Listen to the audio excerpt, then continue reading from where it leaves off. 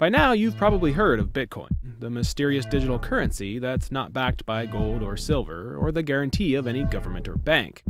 In fact, it seems like it's based on nothing, and yet you can buy all kinds of real world things with it. What's weird, though, is that Bitcoin isn't run or controlled by any single authority. Instead, there's just a network of computers that anyone can join, and a set of rules that those computers use to process and record transactions. This is called mining, but you don't have to be a miner to use Bitcoin. Let's say you run a cafe and you're tired of paying credit card fees on every transaction. Bitcoin fees are voluntary and are typically lower. And to get started, you just need a software wallet, which keeps track of your balance and gives you a Bitcoin address, which is kind of like an email address, except you usually make a new one for each transaction. The wallet has no value until either someone pays you in Bitcoin or you buy some at an exchange using pounds or dollars or euros or whatever. Either way, whoever gives you the Bitcoins broadcasts a message to the entire network of miners, saying that the Bitcoins that were attached to her address should now be attached to your address.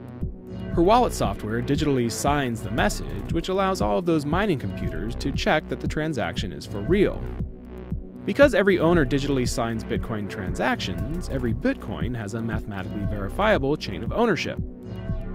And that might seem secure, but it's not quite enough. It's still possible that the Bitcoin that person gave you is just a copy of one she already spent. What prevents that is a universal record of every Bitcoin transaction ever. All those mining computers collect recent Bitcoin transactions into what are called blocks. Miners compete with each other to verify the transactions in a block, and then add it to the great chain of all the blocks that came before.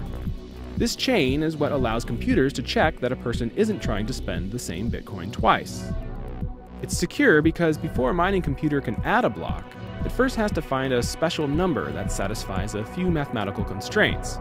And the only way to find that number is by guessing. Lots and lots of guessing. All of that guessing is expensive, and that's on purpose, because it makes it hard to go back and change the record. But because mining is expensive, there's a reward. The first miner to solve each block gets to create shiny new bitcoins for their trouble.